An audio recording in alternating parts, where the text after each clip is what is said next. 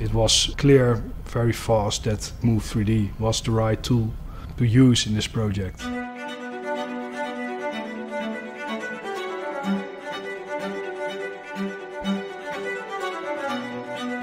Working in Move 3D gave us the freedom to not only check the PTC ring crane, but also in the same file, in the same environment, check it with a large crawler crane. Uh, and also indicate the additional steps to be taken. Some transportation needed to be done with SPMTs.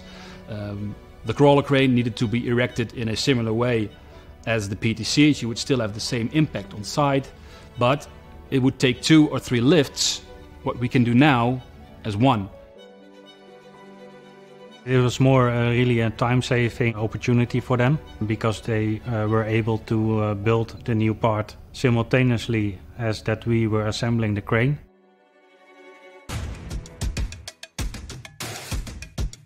There were multiple tight fits here.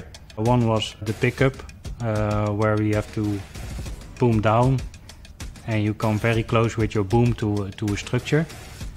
Um, then during the slewing operation we come very near to a uh, chimney with uh, outside platforms uh, attached to it. Further down the operation we have to slew further and we have to boom down again uh, to install the piece.